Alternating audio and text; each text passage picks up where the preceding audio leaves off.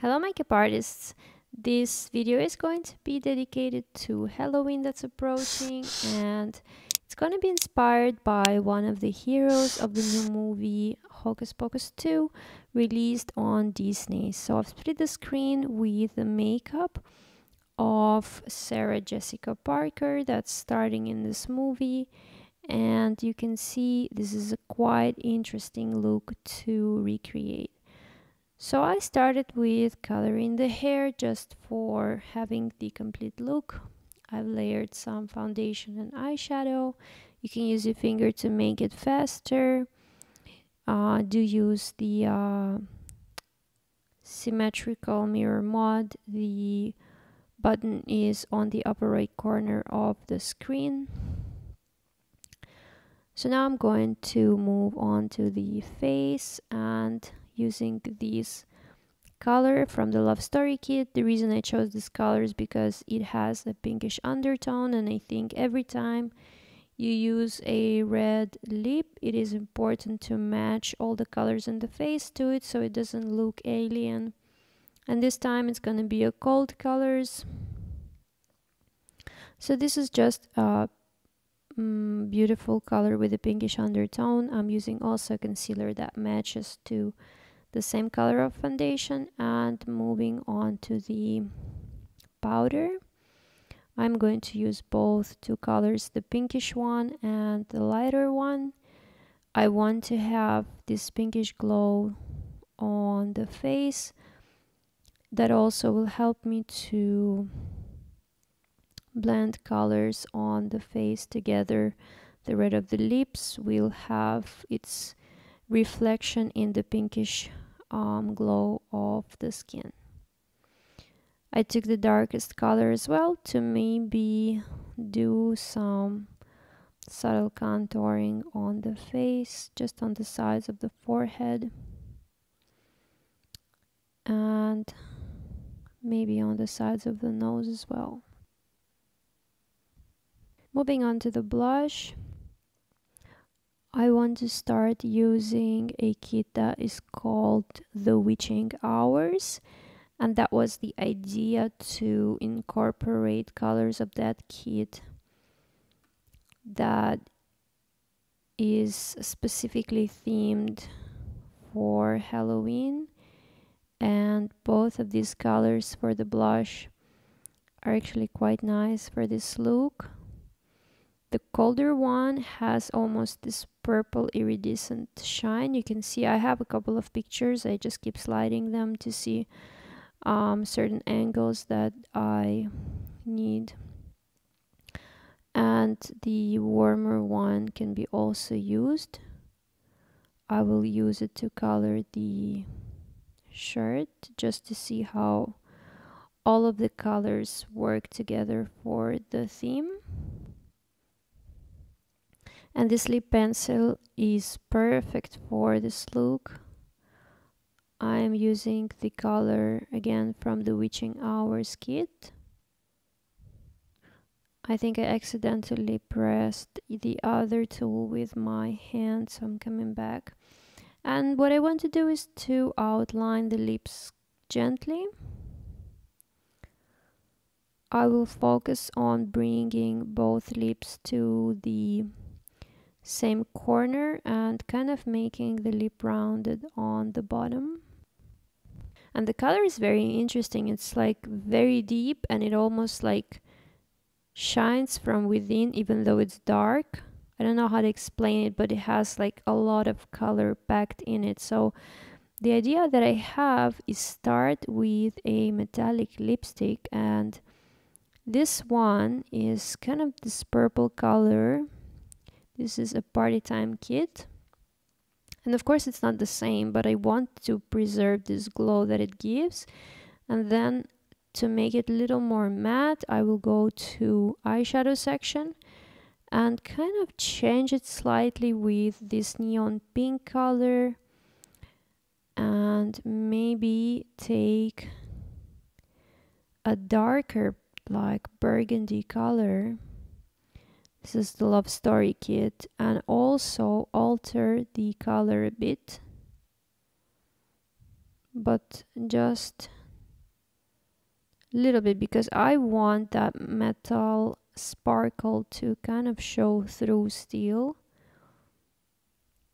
and it will give me that depth that I need. So I'm packing it more on the corners and I will take a darker color maybe more of a purple one. This is the witching hours kit and use it in the center of the lip.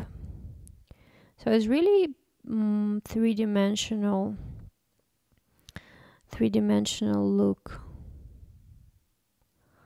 I love how it looks and I'm going to just use a touch of it also in the corner. Switching to the eye. That's a very interesting makeup and I want to start with using some colors to fill in the eye just layering a few light blue colors and I need some kind of a neutral color to start drawing the shape of the eye makeup so I will begin with using a dark pencil for the eyebrow because the eye makeup will be tied in to the eyebrow shape. And since the shape is really exaggerated and different from the one I have on the template, I want to mm, find its shape first and then um, apply some eyeshadows to tie it together.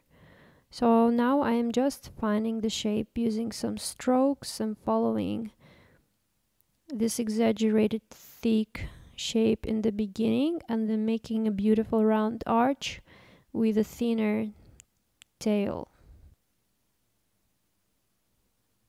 And the color I'm using is the dark one of the Love Story kit. The interesting thing that it also has a light color and if you feel like you want to give it a more of a uh, refined edge. You can also use negative uh, drawing with a light color to make it like less saturated. So that's what I'm gonna do and show you how to do it on the upper edge. It's going to look more natural that way. I'm picking this pinkish color from the fall leaves kit and I want to find the shape of the makeup and that's fine that I'm going to overlap with the eyebrow because I'm still going to use eyeshadows on top of that pencil. So I just want to find the boundaries of color. And I'm using pink color because it's kind of a nice color to use as a transition from very dark to the skin color.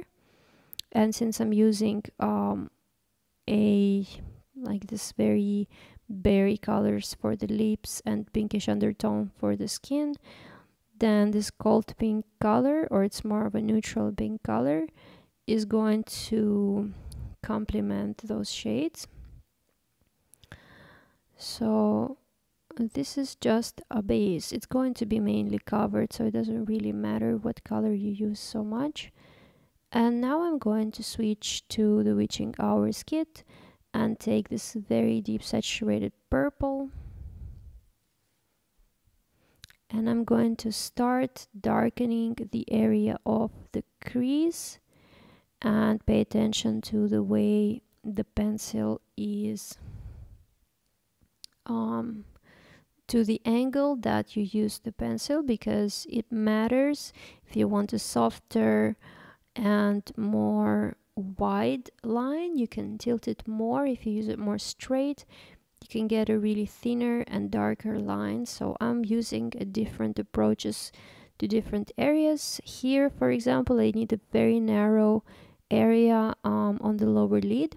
So if you can see I'm using it very straight and then I'm tilting it to use a softer kind of uh, broad and diluted area on the upper lid So I connected it and I created this C kind of rounded shape with the eyebrow.